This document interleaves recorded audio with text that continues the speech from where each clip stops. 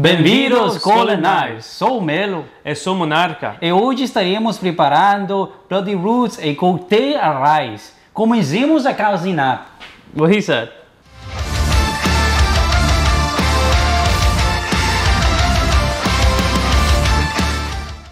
Tá doendo, mas está gostoso. The fuck are you doing? Learning Portuguese. Uh, are we recording it? We, we've been recording. Well, welcome then, Skulls and Knives. Today I will be making bloody roots. So these are the ingredients I will be using today. We got chickpeas, not to be confused with chick's pea. That's gross. Olive oil. We got tahini, which is ground sesame. Just ground sesame.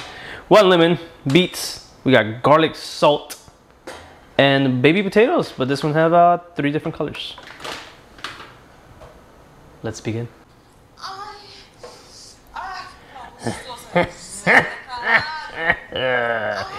Oh, muito gostoso. Oh, que você. Ah, just learning Portuguese.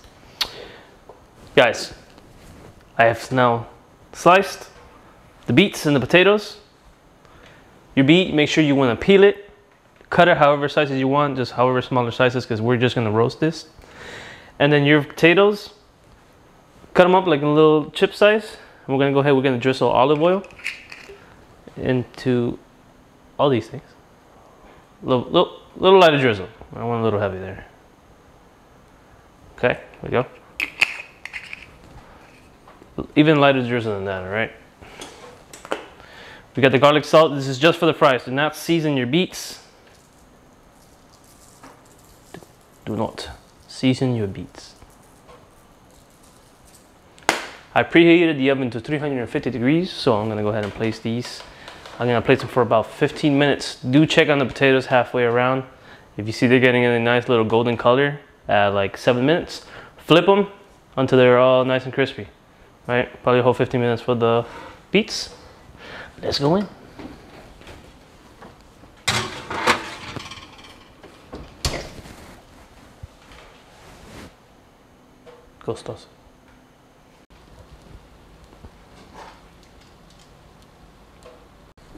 Here are the potatoes and the beets. The beets are pretty much done. So this is how you want the potatoes to look. Uh, it took me longer than 15 minutes, possibly around 20 minutes. It depends on your oven too. You know, uh, always check them though. See how some of these turn a little, little darker. So here's another darker one, but this is exactly how you want them. Really crunchy. Very good. Let's go over the blender. Let's make some hummus. We're gonna make our bloody roots dip. I ended up rolling how Melo showed you. Roll your lemon, roll your limes, make them softer. We're gonna juice it. Juice comes out so much faster. If you don't know what these noises are by now, you're doing it wrong. Very nice. You don't even need nothing else to squeeze it with. Do have a citrus squeezer, but for what? What's the fun in that? There we go. Oh, gostoso. Okay. Man, Portuguese is so much fun. Here we go. Uh, minus the seeds. All right. I'm gonna use a little strainer real quick. For when the time comes. So, if you remember in episode number two, we had the good old white blender. Well, thanks for you guys liking, commenting, subscribing, and sharing amongst your friends. We got this bad boy now. Thank you. Keep doing so so we can afford nicer and better equipment. So I'm gonna start this off with one cup of chickpeas. So this chickpeas, you might be wondering, do I get canned? Monarch, what do I do? Listen, you could get canned or you could get the ones that are dry, rehydrate them. So you put water, cover them um, in a bowl, or whatever, how many, um, however much you want to use, right?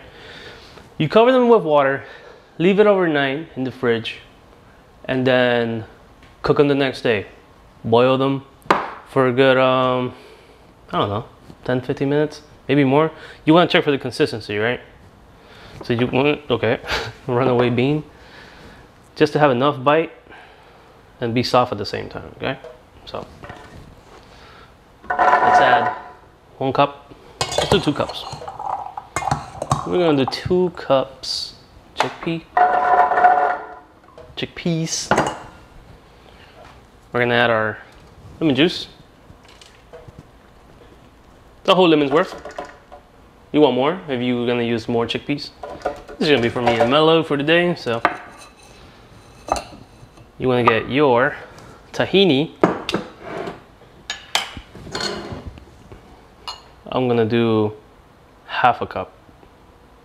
So we did two cups. We got half a cup of tahini. Nice. Nice and thick. You get it in there. We're gonna do our garlic salt. And where's my olive oil?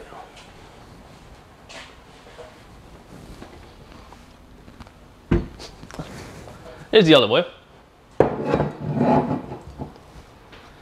Garlic salt. Tahini is very thick. Don't, don't don't worry about getting it all in there. Okay? We're gonna start off by uh, I'm gonna add one teaspoon. So this varies. This varies on flavor. If you do get canned chickpeas, remember that they also have sodium. So careful with how much you want to use. So before I start blending, this is gonna be a very loud. I'm gonna go ahead and put olive oil in a different glass. Put the one with the lime. I'm gonna do about half a cup of olive oil. This also uh, varies on how you seem fit. You can add more if you want your hummus thicker. I mean less if you want your hummus thicker. If you want it, you know, a little looser, use more olive oil. Use more lime juice. But always, I'm gonna say, taste it to as your liking. All right. So you gotta blend it.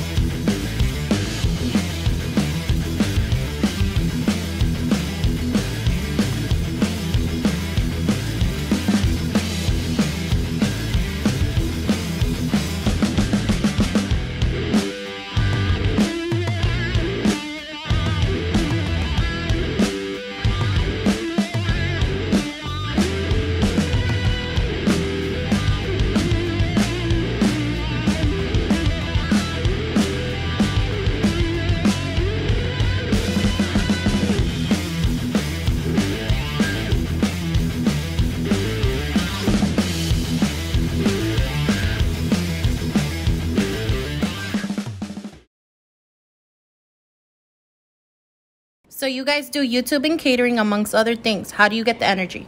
I get some energy from doing some cocaine. No, Raze is all we do. That too. Raze is literally all we do.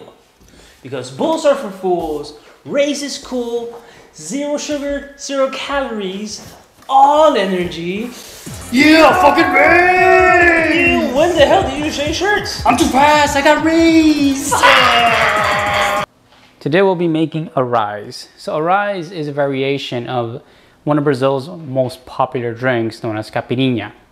So caipirinha is big, commonly made, well, it is always made with cachaça.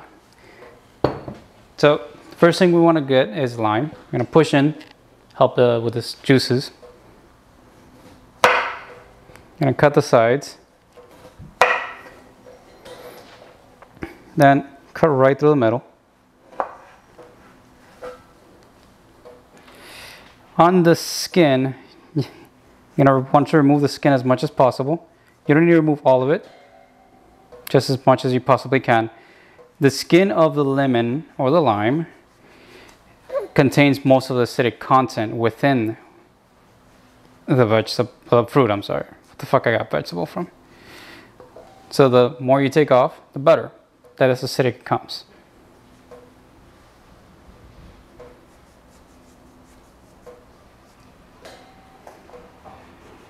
You can always cut in wedges, which for some people might seem easier. However, this is a neat little trick that I'm showing you to make it a little easier. So once you've done that, Get nice little cuts, deep cuts. Kind of like if you're making sushi, if you ever made sushi. Otherwise, just cuts, not all the way through. So you can have like a little worm shaped effect. You also have a passion fruit. You're gonna cut that. You get your glass. Drop the lime in. Always drop the lime first. And you're getting, where they put? Two tablespoons of sugar. You put that right on top.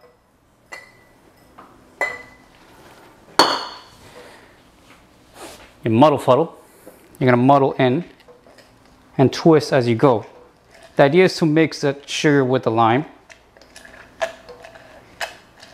You got that going on. Our ingredient that we're gonna be doing this with is blackberries. Put a few, five should be enough. Mix that in as well.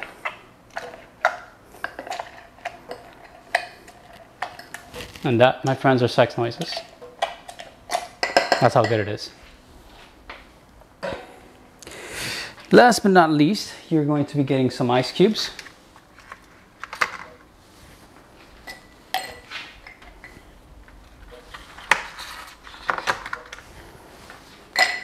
And to top it off, your passion fruit.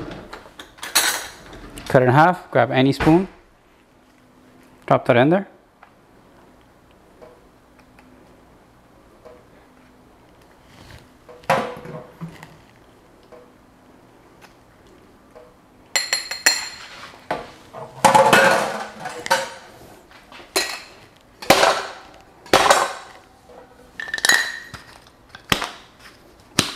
Sure you get that good seal.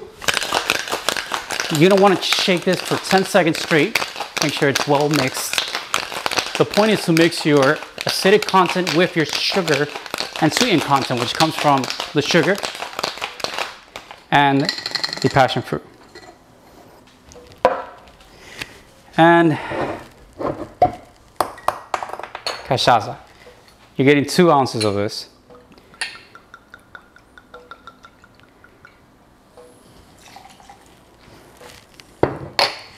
Now, despite the ass backwards system that you see here, it's all to get a full mixture of every flavor.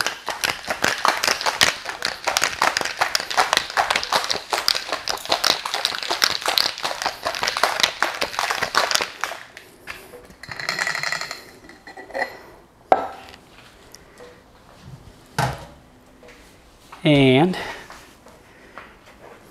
we are getting nice little whiskey cup.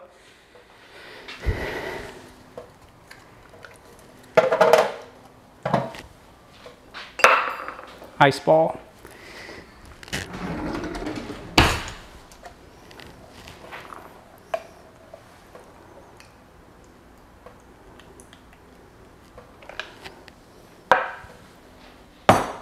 There you have it. Arise. A cocktail arise.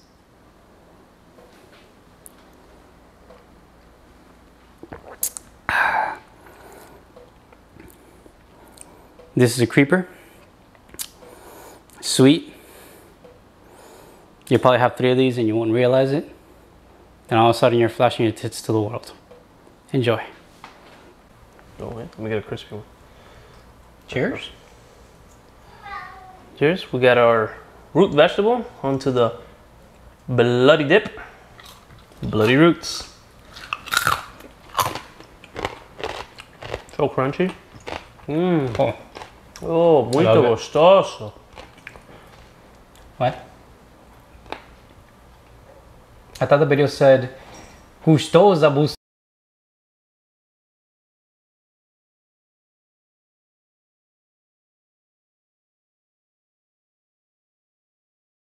Today here in Meadowville, Rock, Kansas, we have a gentleman who has been a victim of burglary tonight. Sir, can you explain a little bit of what happened tonight? Yeah, yeah, yeah, of course. See, two men, two young men, horrible, horrible men, came into my house and they decided, let's burglarize the place.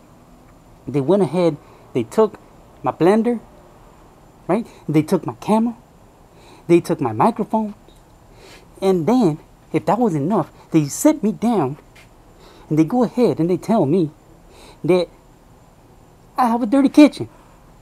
Who goes into another person's house and judges the kitchen? And then my food is trash. Who does that? This, let me, tell you, this kind of crime cannot happen anymore in America. Okay, I say make make make, make this, this country good again. You know. You we crashed? There's no crash. Just cash. Buy now. Buy now.